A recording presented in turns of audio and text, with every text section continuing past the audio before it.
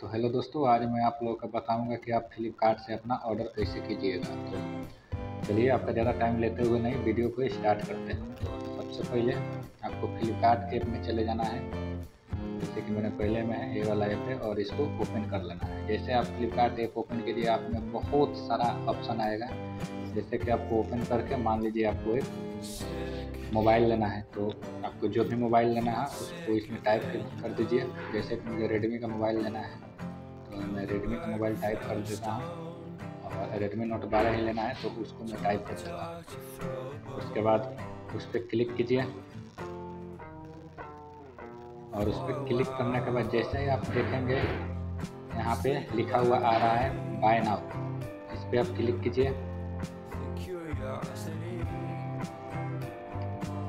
इस पर जैसे ही आप क्लिक कीजिएगा तो और आगे डिटेल्स आ जाएगा।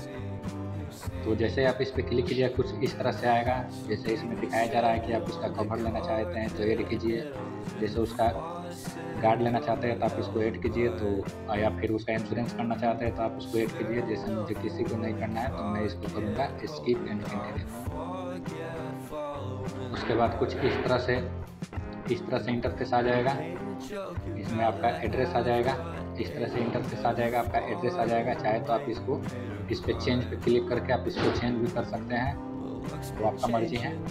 और इसमें बोर्ड ऑफ़ फ्लिपकार्ट फाउंडेशन में डोनेट किया तो आप चाहे तो डोनेट भी कर सकते आपका इधर पूरा नीचे देखिएगा तो आपका पूरा प्राइस दिखा देगा कि अठारह हज़ार का मोबाइल है, चार हज़ार डिस्काउंट है।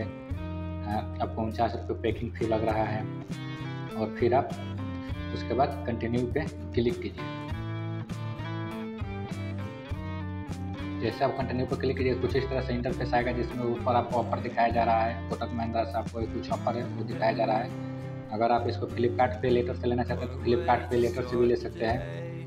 पेटीएम और आपको वो कुछ नेट बैंक या फिर गूगल पे, फ़ोन पे से लेना, उससे भी आप ले सकते हैं। फिर नेट बैंक आपको यहाँ पर बहुत सारा ऑप्शन आ जाता है। तो जैसे आपको मान लीजिए मुझे कैश ऑन डिलीवरी लेना है तो इधर कैश ऑन डिलीवरी पर क्लिक करेंगे। जैसे ही कैश ऑन डिलीवरी पर क्लिक करेंगे, आपके पास एक ऑप्शन आ जाएगा। उसके बाद आपको इधर नीचे वाले पे प्लेस ऑर्डर पे क्लिक करना है। जैसे ही आप प्लेस ऑर्डर पे क्लिक कीजिएगा, आपके पास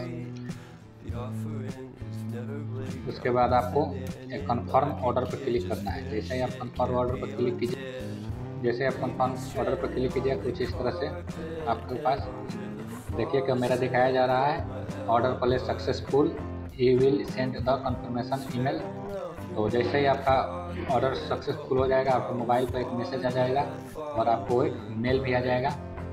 और आपको मेल भी आ जाएगा। आप चाहे तो अपना यहाँ पे ऑर्डर देख भी सकते हैं। जैसे आपका ऑर्डर देखना है तो आपको अकाउंट पे क्लिक कीजिए। इधर अपने अकाउंट पे क्लिक कीजिए। और यह सबसे ऊपर वाला है ऑर्डर इस पर क्लिक कीजिए।